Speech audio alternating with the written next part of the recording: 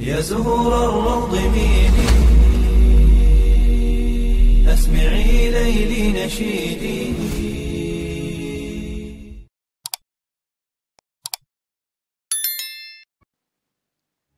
Assalamualaikum warahmatullahi wabarakatuh. Syukur Alhamdulillah, dalam kesempatan yang mulia ini kita masih diberikan banyak kenikmatan sehingga kita dapat berjumpa kembali di channel ini. Marilah kita senantiasa bersolawat serta salam kepada junjungan kita semua, yaitu baginda Nabi Muhammad sallallahu alaihi wasallam. Allahumma sholli ala sayyidina Muhammad wa ala ali sayyidina Muhammad. Doa dan harapan saya semoga sahabatku semuanya selalu diberikan kesehatan, diampuni dosa-dosanya, dikabulkan segala doa dan hajatnya, serta dilapangkan rezekinya oleh Allah Subhanahu wa taala. Amin ya robbal alamin.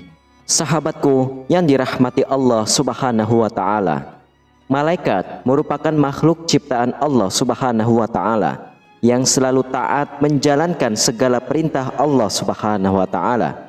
Walaupun keberadaan malaikat tidak dapat dilihat oleh manusia, namun keberadaannya diyakini dapat membawa pengaruh positif dalam kehidupan sehari-hari. Salah satu pengaruh positifnya yaitu datangnya keberkahan dari Allah Subhanahu wa taala kepada penghuni rumahnya yang sering dikunjungi para malaikat.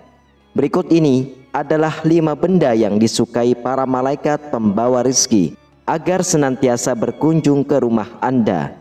Namun sebelum lanjut ke pembahasan, alangkah baiknya para sahabatku untuk menyimak terus video ini sampai selesai agar sahabatku bisa mendapatkan informasi yang utuh supaya tidak gagal faham dan menjadi penambahnya ilmu serta pengetahuan. Yang pertama adalah kitab suci Al-Quran Malaikat sangat menyukai rumah yang di dalamnya selalu terdengar lantunan ayat suci Al-Quran. Dengan cara tersebut, malaikat akan sering berkunjung ke rumah dan menebarkan berkah serta rizki dari Allah Subhanahu wa Ta'ala. Hal ini dikarenakan kitab suci Al-Quran merupakan sebagai petunjuk hidup dan sumber ilmu, menjadi benda yang sangat disukai oleh para malaikat pembawa rizki.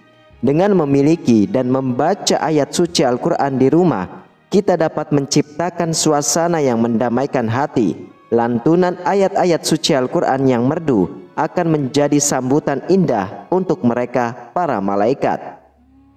Lalu yang kedua adalah sajadah. Benda ini sangat disukai oleh malaikat pembawa rizki. Apalagi sejadah tersebut sering digunakan untuk bersujud kepada Allah Subhanahu wa taala Menggunakan sajadah dalam ibadah sehari-hari menandakan kesungguhan dan ketaatan kita kepadanya. Malaikat pembawa rizki senang berkunjung ke rumah yang dipenuhi dengan rasa yang khusyuk. Lalu yang ketiga adalah sarung dan mukena atau pakaian untuk ibadah yang suci. Selanjutnya ada alat sholat sarung dan mukena yang senantiasa digunakan untuk beribadah kepada Allah Subhanahu wa taala. Dengan adanya benda ini, maka para malaikat pembawa rizki akan senantiasa datang ke rumah untuk ikut mendoakan penghuni rumah tersebut. Lalu yang keempat adalah tasbih.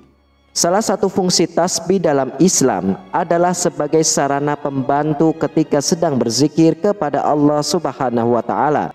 Malaikat sangat menyukai manusia yang selalu mengingat Allah Subhanahu wa taala dan senantiasa berzikir kepadanya. Dengan adanya tasbih yang selalu digunakan untuk berzikir kepada Allah ataupun untuk mengingat kepada Allah, maka malaikat akan senantiasa datang untuk berzikir bersama. Kemudian yang kelima adalah speaker yang selalu memutar ayat suci Al-Quran.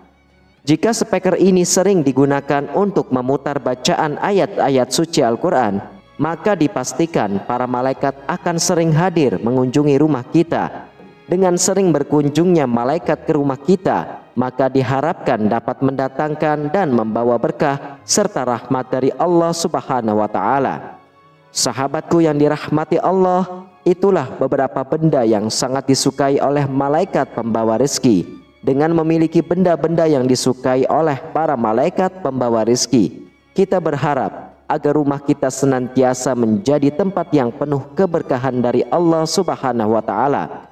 Dengan adanya beberapa benda tersebut, diharapkan rezeki dan rahmat Allah Subhanahu wa taala senantiasa didapatkan oleh pemilik rumah tersebut. Wallahu alam bisawab. Demikianlah hanya ini yang dapat saya bagikan dan sampaikan. Semoga bermanfaat untuk kita semua dan semoga malaikat pembawa rizki senantiasa berkunjung dan menyebarkan rizki yang melimpah kepada kita dan keluarga kita. Amin ya rabbal alamin. Wassalamualaikum warahmatullahi wabarakatuh.